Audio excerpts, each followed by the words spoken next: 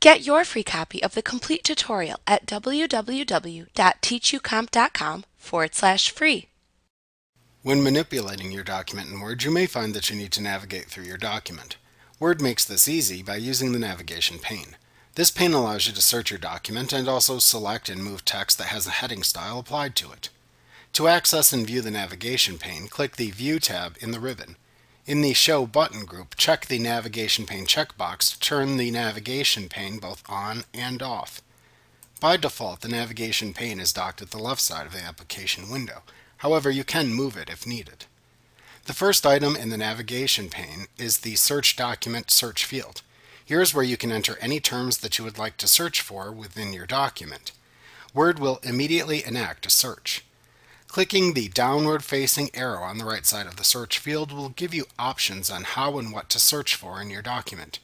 For example, you could choose footnotes slash endnotes to search your document for any footnotes or endnotes it may contain. The navigation pane also allows you to see all of the text that has been assigned a heading style.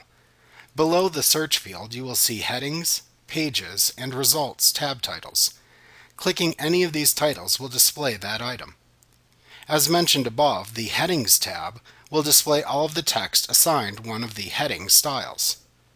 There may be a time when you need to move a heading and its contents to another position in your document. Within the navigation pane, Word makes this a simple task. In the Headings tab, you can click to select a heading and then drag and drop it into the new position you want it to be placed in within the list of headings. Word will move the heading and everything between it and the next heading to the new location.